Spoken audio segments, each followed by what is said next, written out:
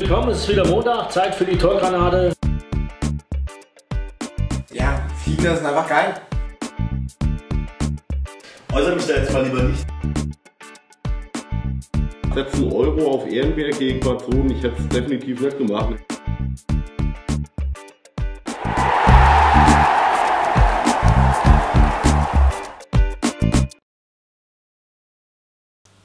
Senior Talk am Montag heute in etwas kleinere Runde. Heute sind wir nur zu dritt. Äh, ja, die Spielabsagenflut ging auch nicht an uns äh, Redakteuren vorbei. Ja, äh, mussten einige Absagen hinnehmen, ja, personeller Seite. Aber wir wollen natürlich trotzdem über das Fußball, äh, Fußballgeschehen reden, weil es wurde ja trotzdem ein bisschen gespielt. Unter anderem gab es äh, in Mittelhessen ein 2 zu 2 Johannes. Äh, Steinbach hat einen Punkt geholt. Du hast, glaube ich, gefühlt zwei Spiele gesehen. Einmal 85 Minuten lang Waldgirmes, alles im Griff. Und dann das Comeback des SV Steinbach womit du nicht gerechnet hast, um das in deinem Stil zu sagen, du hättest wahrscheinlich niemand Euro draufgesetzt. Nee, nee, also da nicht mal mehr einen Cent, weil ähm, das Spiel war eigentlich so klar vom, vom Spielverlauf her, dass da, dass da eigentlich nichts mehr drin war für Steinbach. Wobei Waldgirmes, sie haben halt auch ihre Besten ausgewechselt vorher schon. Eine, ein Sechser, Stürmer, äh, rechts außen. Das war schon so ein bisschen merkwürdig haben dann immer mehr die Konzentration verloren. So nach der 60. Minute wurde schon ein bisschen schleppender, aber es war nicht so, dass, äh, dass Steinbach da irgendwie, äh, ja, dass Steinbach da irgendwie nur einen Schritt ins Spiel bekommen hätte. Ne? Und dann machst du nach nach Standard das äh, 2-1 und das war ein unfassbarer Hallo-Wach-Effekt. Da ging sofort ein absoluter Ruck durch die Mannschaft, absolut ähm, ja, vorbildhaft. Äh, und dann war es nur eine Frage, fällt. Also da war es dann nur eine, eine Frage, fällt. Das ist 2-2 und ich sage fünf Minuten länger und dann gewinnt es wahrscheinlich sogar. Mhm. Aber nach der 92, nach dem 2-2 war das Spiel auch rum. Äh, zwei wunderschöne Tore, muss man auch dazu sagen. Und ja, war schon, war schon okay. Ja, vorher ging ja im Spiel aber trotzdem erstmal relativ wenig. Wenig. War das jetzt vielleicht die Wende oder muss man halt sagen, okay, das war ein Punkt für die Moral? Weil ähm, also es war ein Punkt für die Moral, das auf jeden Fall. Ob es die Wende war, weiß ich nicht. Man muss auch ehrlicherweise sagen, dass es aktuell von der Qualität her, äh, die, was da auf dem Platz steht, ja, ob das jetzt Hessenliga ist, schwierig. Also von hinten bis vorne, es ist sehr, sehr dann gibt es auch welche, die so komplett außer Form sind, die so in so einem Loch drin sind. Es gibt natürlich auch Positivbeispiele wie ein Pascal Manz, ähm, der da wirklich einen riesen Job macht, der Junge. Ähm, da muss ich echt sagen, Hut ab, äh, wie der sich auch aufopfert. Ne? Aber das ist natürlich auch noch kein Hessenliga-Spieler. Ne? Der braucht noch Zeit. Ne? Ist doch in der Jugend oder kam aus der Jugend raus? Der kam aus der Jugend raus. Ne? Und, und der, der Spieler 90 Minuten. Also es ist man muss wirklich das nächste Spiel abwarten, um, um da zu sehen. Aber ich kann schon mir vorstellen, dass da ein Ruck durchgeht und jetzt musst du einfach mal ein Heimspiel gewinnen. Mhm. Das ist einfach so. Ja, und sie sind nicht mehr am Abstiegsplatz. Also wenn nichts aus der Regionalliga kommt, würde der Platz schon reichen. Und da siehst du, wie eng das mhm. unten ist und was auch möglich sein wird. Wir können ja mit einem Auge auf die Regionalliga gucken. FSV wird sehr, sehr eng, aber Stadt Allendorf mit dem Ante Markesic äh, wieder gewonnen. Ich glaube jetzt 18 Punkte. Also auch nochmal, wenn es jetzt nicht unsere Region ist, aber Hut ab, was Stadt Altdorf da leistet, also kann man nur Hut vorziehen, weil, ja. sind wir mal ehrlich, äh, da sind wir eigentlich alle davon ausgegangen, das geht dann ja wieder runter. Ne? Und was sie jetzt schon an Punkte geholt haben, 18 Punkte, wenn sie die am Saisonende hätten, hätte ich jetzt gesagt, ja, das ist natürlich gut verkauft das Jahr über. Ne? Ja. Gut, äh, wir sprechen über Qualität, da müssen wir über Borussia Fulda sprechen. Äh, du sagst, Heimspiele muss Steinbach gewinnen, Borussia Fulda Auswärtsspiele. 1-1 ähm, in Ginsheim, kein Fisch, kein Fleisch, hat der Martin Humann vor zwei Wochen gesagt kann man jetzt wahrscheinlich wieder anwenden. Ja, gefühlt kann man es die ganze Saison anwenden, weil irgendwie so richtig die Konstanz bekommt Borussia Fulda aktuell nicht rein. Ich glaube, drei Siege in Folge gab es noch gar nicht in dieser Saison. Und das unterscheidet Borussia gerade so ein bisschen von den anderen Mannschaften, würde ich sagen, weil Dreieich auch nicht gut gestartet, aber die haben jetzt halt wirklich eine Serie hingelegt. Die sind jetzt oben dran. Ne? Ähm, wenn sie ihre Nachholspiele gewinnen, sind sie auch Erster. Und Borussia Fulda immer noch zurück mit den Spielen, aber ja, ich weiß nicht, ob man die Hoffnung haben kann, dass die wirklich die ja, Maximalausbeute daraus holen, mhm. weil so wie die bisherige Saison gelaufen ist, war halt noch keine Konstanz drin. Und du sprichst Nachholspiele an, das ist jetzt eins am Mittwoch gegen, gegen Fliegen, Fliegen, und danach äh, das andere Nachholspiel ist ja gegen Dreieich, also äh, es ist auch nicht das leichtes Programm. Ähm, Richtig. Auffällig ist sowohl bei Borussia als auch bei Fliegen viel Standardsituation. Also das Tor von Leon war ein Elfmeter. Mhm. Fliegen äh, trifft auch wieder nach einer Standardsituation. Ähm, Fliegen unglaublich guter Start hat eigentlich keiner mit gerechnet, oder? Also auch bei dem Programm, dass sie jetzt schon so viele Punkte haben und der Mike macht, ja, er moderiert es anders. Ich, ohne ihn jetzt, ich sag mal, vor zwei Jahren hätte er sich, glaube ich, wäre er richtig stolz gewesen. Schon sagt er, nee, nee, nee, 19 Punkte erst, wir müssen weiter sammeln. Äh, gegen Borussia jetzt am Mittwoch. Ähm, ich sag mal, da ist was drin, oder? Ja, da ist immer was drin, weil es extrem unbequem zu bespielen ist. Für, für den Gegner ist Fliehen unfassbar unbequem zu bespielen. Und ähm, es hört sich dann ja immer an, es ist nicht nur SV Schaum, aber sie kriegen auch wenig Gegentore. Also es ist schwierig, gegen sie zu treffen. Eine unglaublich großgewachsene Mannschaft, die bei jeder Standard äh, gefährlich werden kann. Äh, letzte Woche waren es auch, glaube ich, zweimal Götze Freistöße, mhm. jetzt diese Woche wieder ein Standard. Es ist unfassbar unbequem zu bespielen. Ja? Und gerade wenn dann ein, ein Schaum einen guten Tag erwischt, dann wird es äh, für jeden Gegner schwer. Ja, und die haben auch noch keine Klatsche gekriegt dieses Jahr. Also es ist äh, auch äh, selbst in den Top-Spielen, äh, es sieht gut aus, sie machen dann einen klasse Job und äh, da kann man immer nur sagen, Hut ab. Und ich glaube schon, dass für die am Mittwoch auch wieder was drin sein wird. Ja, das auf jeden Fall. Man hat ja auch das Hinspiel gesehen, 2-0. Hat ja auf dem großen Platz auch. Ne? Also auch glaube ich auch Selbstvertrauen. Ja. Ja. Ich glaube, der beim Borussia der Druck wird ja immer groß oder ist jetzt sehr groß wieder, wobei da haben sie bislang ja eigentlich meist dann auch geliefert, wenn sie mussten. Ne? Plus die haben immer die Spiele, wo man eigentlich gedacht hat, jetzt sind sie drin. Ne? Mhm. Da haben sie was hergeschenkt. Ja. Ähm, nichts herschenkt im Moment äh, Eigenzell. 7-0 äh, gegen Großenhüter. Ähm, auf dem ersten, also mich verwundert es nicht, dass sie gewonnen haben. 7-0 ist natürlich eine klare Ansage, Colli, ähm, weil auch Großenhüter sehr gut dastand, aber äh, war es für dich denn verwunderlich? Die Höhe ja, weil Großenhüter auch wirklich gut drauf war in letzter Zeit, aber Eigenzeit hat schon in Müs, glaube ich, genau so hoch gewonnen, 7-0. 5-0 gegen Rodemann. 5-0 gegen Rodemann. Also, ja, bei Eigenzeit hat man wirklich das Gefühl, okay, jetzt sind sie wirklich in der Saison drin, seit einigen Wochen. Die gewinnen ihre Spiele souverän. Ich glaube, die hätten auch in Talo am 3. Oktober was mitgenommen, wenn da nicht. Ja, vielleicht kam Talo die Spielabsage ganz gelegen, ich weiß es nicht, will ich nicht beurteilen, aber so generell wie Eichenzell gerade in Form ist, da passt so ein 7-0 gegen Großenlüder auch ins Bild. Ich denke, Großen Lüder weiß das einzuordnen.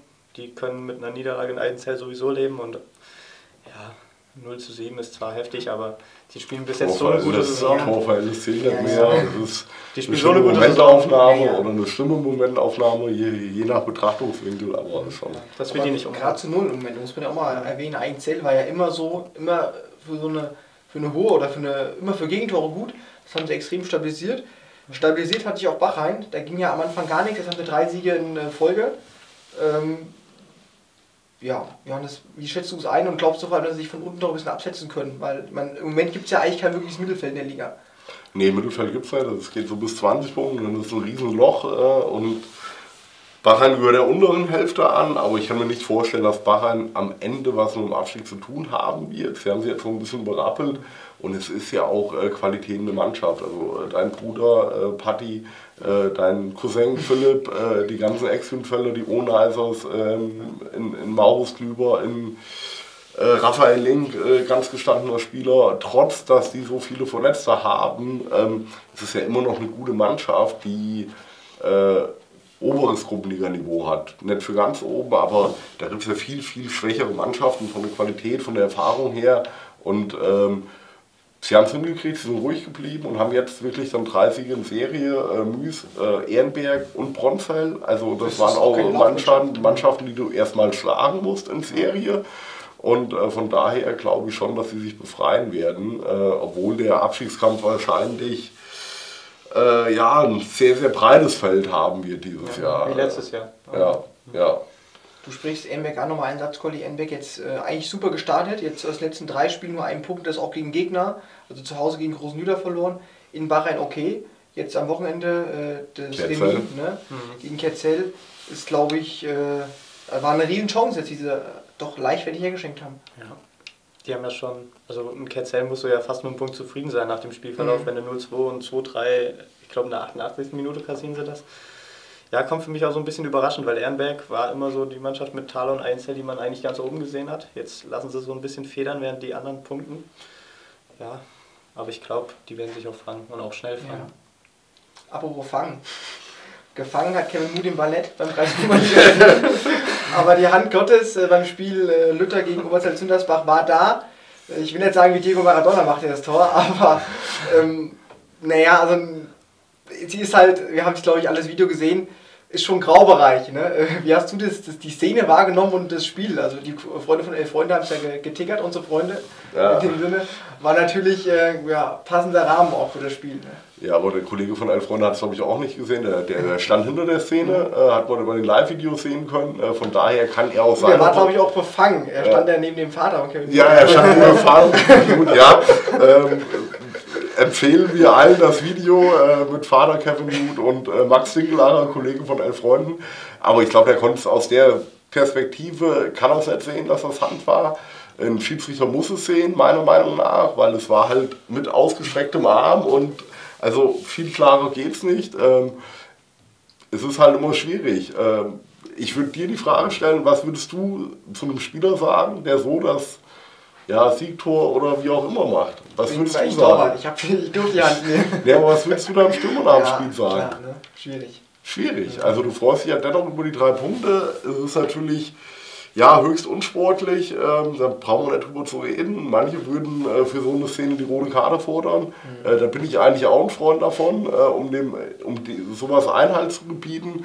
Ähm, ob ich jetzt zum Schiedsrichter hingehen würde und würde sagen, hier pass mal auf, äh, ich habe das Tor nicht gemacht, das ist ein Mittelstürmer. Das ist 1-1, Ja. ne? Das Auch. ist ein Mittelstürmer, äh, ganz, ganz schwierige Situation. Also da kann man, da gibt es glaube ich viele, viele Meinungen und es gibt keine richtige Meinung. Äh, die richtigste Meinung wäre natürlich, äh, ich gehe zum Schiedsrichter und sage hier, sorry, das war ein Handspiel, ähm, gebt das Tor nicht, gebt Freistoß und von mir aus auch gelb. Äh, aber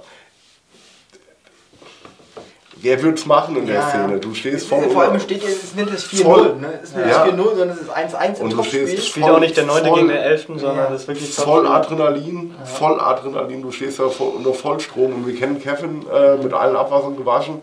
Das ist ja wirklich so. Das ist eine Kante, eine Sturmkante. Der arbeitet mit allem. Äh, der will Tore machen. Dafür ist er da. Also Ja, eigentlich auch ein Fundskerl, das muss ich noch dazu sagen. das ist ein Fundskerl. Ne? Das ist ja ein Riesentyp äh, vom absoluter, ja, mit dem äh, unterhält man sich gern, mit dem steht man in der Altstadt gerne an der Theke. Also das ist wirklich ein Fundskerl. Ne? Äh, Ja. Ähm, Regen, äh, zuletzt, letzter Punkt müssen wir natürlich über die Spielabsagen. Wir haben jetzt Anfang Oktober und äh, man muss jetzt auch dazu sagen, die Spielabsagen gestern, also wer gestern gespielt hat, der weiß, das hat ein bisschen geregnet, sondern die Plätze, also äh, sind entsprechend aus, wo gespielt wurde. Ähm, trotzdem muss man natürlich jetzt die Frage stellen, wie soll das weitergehen, weil wir haben jetzt Anfang Oktober, wenn es jetzt schon losgeht, es sind erst 10, 11, 12 Spieltage absolviert, wann sollen die Spiele A nachgeholt werden? Und äh, B ist natürlich auch die Frage, wie kann man das verbessern? Also ich werfe jetzt mal einen Raum, ähm, ich bin ein Freund vom Sommerurlaub ne? und die Spieler fahren ja inzwischen sowieso weg, wie sie wollen. Ja? Egal in welchen Ligen, ja? sprich auch aus Erfahrung so. Und von daher muss Harald man... äh, ja, muss man auch ganz klar sagen, ähm, wäre es nicht sinnvoll, man sagt im Sommer, okay, aufgrund des Wetters, wir machen eine kürzere Sommerpause und äh, denen den Winter ausfällt, es fällt ja eh schon viel aus und äh, ich meine, die Hessenliga-Spiele sind inzwischen bis in den Dezember äh, terminiert, Verbandsliga glaube ich bis Ende November. Ähm, wann sollen die Spiele stattfinden? Ich wäre sowieso ein Freund davon, von, äh, was weiß ich, Ende März bis Oktober die Saison gespielt. So, und dann ist halt frei, dann hast du dir eine Vorbereitung gespart als Trainer, ähm, als Mannschaft. Du hast dann wirklich mal zwei, drei Monate, die du frei machst. Also ich wäre sowieso für diese Spielplanreform, die es aber nie geben wird, weil wo willst du den Schnitt setzen? ne? Äh, du kannst ja nirgendwo, du musst ja von der Bundesliga angefangen das umstellen. Das wird es nicht geben, weil du kannst ja keine Mannschaft sagen, äh, Hessenliga steigst du auf und jetzt hast du auf einmal einen anderen Spielkalender. Das funktioniert ja nicht. Aber äh, meiner Meinung nach wäre das die sinnvolle Variante. Eigentlich wäre die WM Katar äh, der passende Zeitpunkt, äh, um das äh, einzuführen. Auf großer Ebene wird es aber nie dazu kommen, bin ich mir sicher. Ähm, an Weihnachten spielen, ja, hat Ja, man früher, ähm, aber irgendwann will man halt auch mal Schluss haben. Steht ja in England Ja. äh, zur Debatte im Moment. War ja Thema, dass sie das- irgendein Spiel von Liverpool auf den 24. legen wollen. Hat Klopp natürlich gleich gesagt, ob sie sie noch alle hätten. Also wir wollen auch mal irgendwann Weihnachten feiern, weil am Ja. 26. sind ja die nächsten Spiele. Äh, letzte Sache noch, Colli, du bist selber Spieler. Ähm, wie ist es denn auch für euch Spieler? Meine, Man muss ja auch irgendwo mal planen. Ähm, es ist ja schwierig, oder soll man dann äh, mehr Spiele jetzt im, im, im Sommer ausführen? Da hat man natürlich dann ganz, ganz viele Spiele, kaum Pausen. Was sind denn deine Erfahrungen als Spieler? Wie könnte man das denn am besten angehen? Also so generell finde ich es immer am schlimmsten, wenn irgendwas im Oktober ausfällt und hinten dran gehangen wird Mhm. an November, weil du weißt genau, dass diese Spiele eh nicht stattfinden, weil dann eh noch Kollektivabsagen kommen. Aber erstmal hast du so im Kopf, okay, jetzt musst du doch zwei Wochen länger trainieren, musst du zwei Wochen länger Ja. im Rhythmus bleiben, kannst du eigentlich auch nicht verplanen, weil das ist ja auch blöd, wenn du da noch dir Urlaub hinlegst. Ja, Ich glaube, die WM Katar hätte dann vielleicht eine gute Sache, die, die ganze Vergabe, wenn man da irgendwas ändern würde. Aber ja, wie du schon sagst, das wird nicht passieren. Von daher werden wir wohl nächstes Jahr an diesem Zeitpunkt wohl genau Ja, darüber nächste sprechen. Woche wieder. wahrscheinlich wieder. er Und nächste Woche Woche sowieso. Ja. Also hoffen wir auf den Wettergott. Äh, die Hand Gottes haben wir schon gehabt. Vielleicht hilft der Wettergott ja, dass das Wetter wieder ein bisschen umschwingt, dass wir zumindest ein paar Spiele durchbekommen. Ansonsten vielen Dank fürs Zuschauen und bis nächste Woche.